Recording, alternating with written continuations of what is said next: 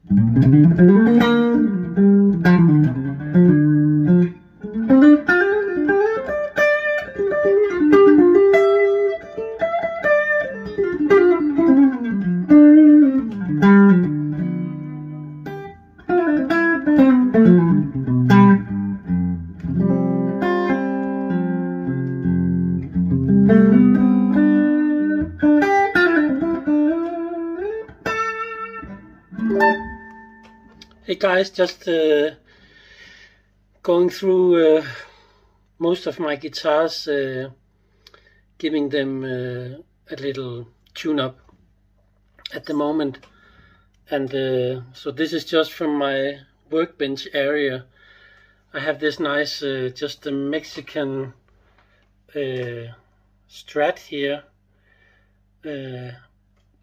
I'm not quite sure what model it is because it's definitely uh, with some uh, vintage take on it with uh, vintage tuners, uh, which I really love.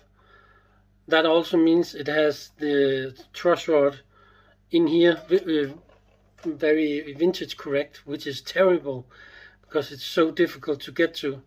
Um, but uh, anyway, this is playing really, really excellent.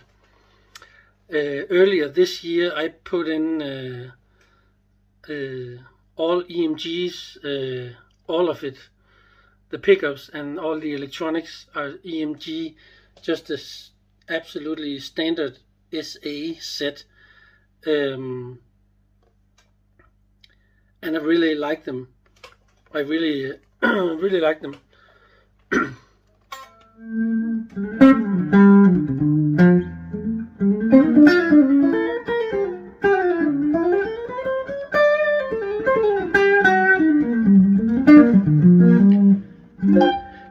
So this is just uh, again a very uh, mm, very simple video just with the camera here and uh, a little amp. I'm playing through a Lab Series, uh, the old Gibson.